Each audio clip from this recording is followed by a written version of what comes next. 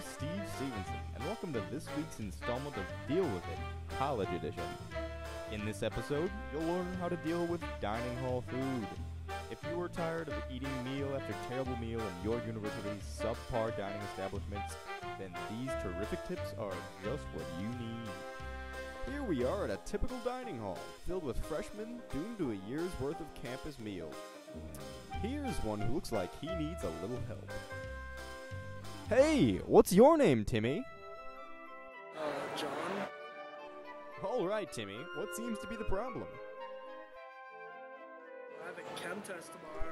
What's that? You can't find anything good to eat in this pig trough? No? Have no fear. I'll give you some tips that can make a meal out of anything they try to serve you. Although you may have many options, few if any will be edible. Make sure to avoid the following. Type of fish. Anything that has imitation crab.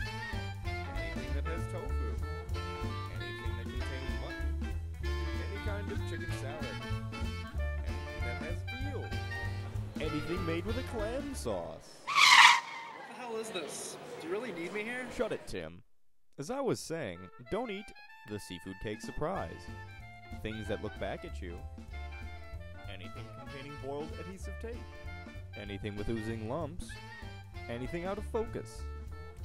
Anything containing over 10% dirt. Anything that once resided in a large intestine. Anything containing fur. Anything radioactive. Anything containing fecal matter. And anything still living. Now that you've made your selection, What happened to my book? don't worry about that. Just look at those delicious beans.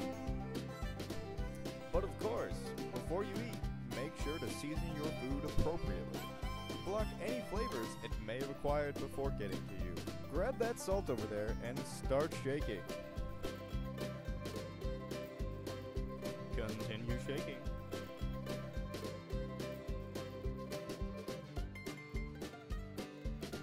Continue.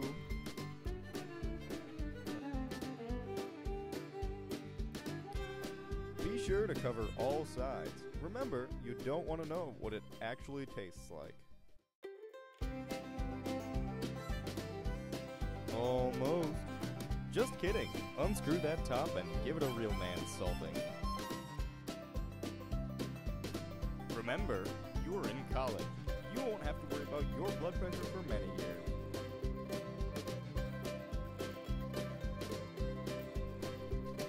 Now that you've finished seasoning, you're ready to chow down. How is it, Tim?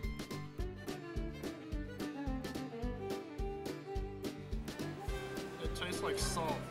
Great! Now you're all set. With these helpful hints, you'll always be able to eat dining hall food.